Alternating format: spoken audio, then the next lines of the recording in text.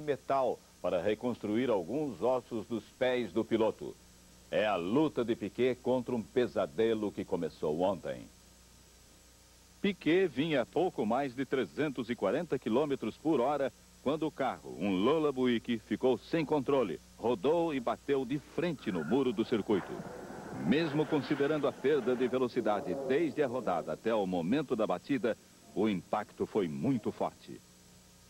É como se o carro de Piquet, suspenso por um guincho, fosse solto do alto de um prédio de 27 andares. O impacto no chão desta queda de 80 metros seria o mesmo da batida no muro de Indianápolis. Mais um dia de acidente no automobilismo, desta vez na Fórmula 1. O italiano Ricardo Patrese da equipe Williams bate a 280 km por hora na curva Tamborello, uma das mais perigosas do mundo.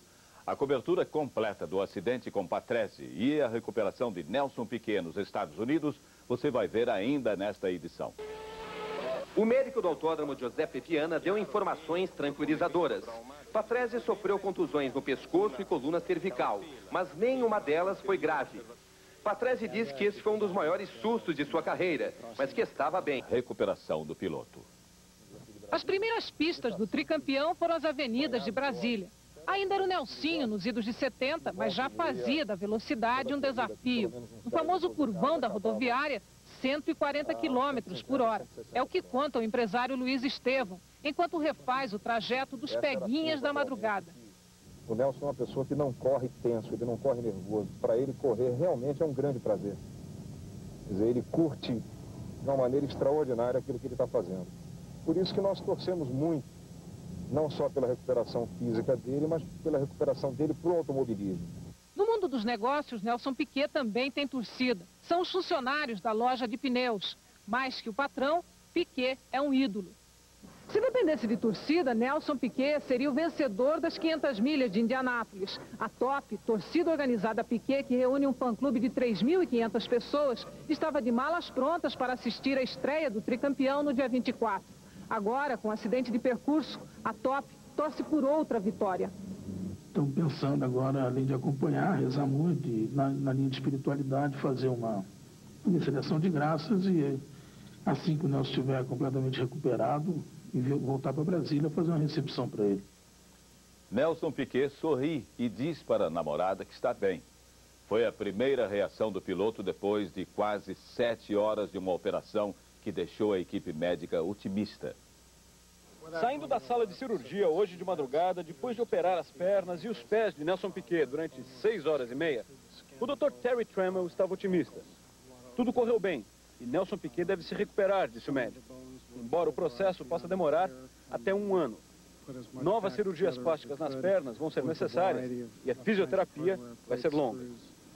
Segundo o Dr. Trammell, Piquet teve fraturas múltiplas e expostas em ambas as pernas abaixo do joelho. Algumas partes dos ossos, ele disse, ficaram pulverizadas e estruturas de metal e de plástico foram usadas em substituição. Às 10 da manhã, quando os treinos para as 500 milhas de Indianápolis recomeçaram, o acidente do piloto brasileiro parecia ter acabado de acontecer. As marcas no asfalto mostram o ponto exato onde o carro de Nelson Piquet bateu contra a mureta da curva 4 aqui de Indianápolis. Os carros passam nesse trecho a uma velocidade de mais de 350 km por hora. Esse, historicamente, não é um ponto perigoso da pista, mas por acaso, na última semana, Três acidentes aconteceram quase no mesmo lugar. O mais sério deles, o de Nelson Piquet. Emerson Fittipaldi, que tinha acabado de entrar nos boxes, ouviu a batida e saiu correndo do carro. Foi um dos primeiros a chegar no local do acidente. O que, que você achou que tinha acontecido com ele? eu estava eu, eu, falando com ele, ele estava consciente, ele, ele, ele respondia só falar que estava tá, com muita dor no pé. E eu percebi que o mais importante, toda a parte de cima do corpo, não, não, não tinha ferimento nenhum, só os pés e a perna. Então, isso me, me deixou mais tranquilo pela, pela situação geral do acidente. Para o público de Indianápolis, a impressão era de que Piquet seria um dos pilotos de frente na corrida. Esse fã tinha até trazido uma foto de Piquet ontem para ver se conseguia um autógrafo. O chefe de equipe de Piquet, John Menard, disse que o piloto brasileiro foi o maior talento que ele já viu até hoje na pista de Indianápolis. John Menard disse que o que se sabe até agora é que alguns segundos antes do acidente, o carro de Piquet passou por cima de um pedaço de metal que caiu de um outro carro. Mas ninguém se abalou tanto com o acidente quanto o companheiro de equipe de Piquet, Gary Bettenhausen, veterano de 20 corridas de Indianápolis. Quando começou a contar o quanto ficou amigo de Piquet nas últimas semanas, ele não se conteve. We became very good friends, very, very quickly.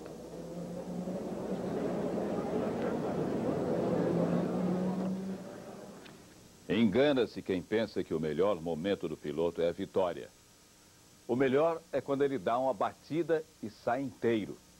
Assim, Nelson Piquet definiu esta semana a rotina de risco e paixão das corridas. Uma rotina que só não é trágica como antigamente, porque os carros estão cada vez mais seguros. De Indianápolis, fala ao vivo o repórter Luiz Fernando Silva Pinto. Cid, as primeiras faces familiares que Nelson Piquet viu quando acordou da operação foram as de Dona Clotilde, a mãe dele, e de Ana Cristina, a namorada. E elas dizem que imediatamente ficaram aliviadas, porque apesar da seriedade do acidente e dos efeitos da anestesia, Nelson Piquet acordou bem-humorado.